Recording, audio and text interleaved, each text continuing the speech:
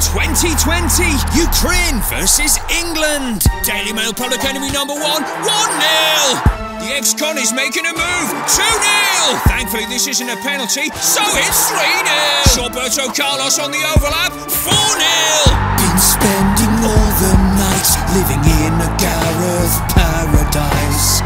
Been spending all these nights living in a Gareth through the Euros like a master of death, I take a look at the draw and realize there's two games left. Cause we just blasted Ukraine so lame in Rome that even my mama thinks that It's coming home. But I ain't never worked a team that didn't deserve it.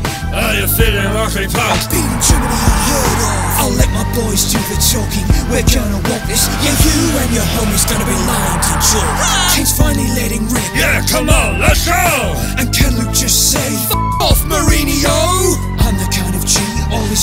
wanna be like OMG. Sunday night, I'm the G in the limelight. Been spending all these nights living in a Gareth paradise. Been spending all these nights living in a Gareth paradise. Next to semi at Wembley, I ask kindly, Southgate with a sudden death penalty. Saved!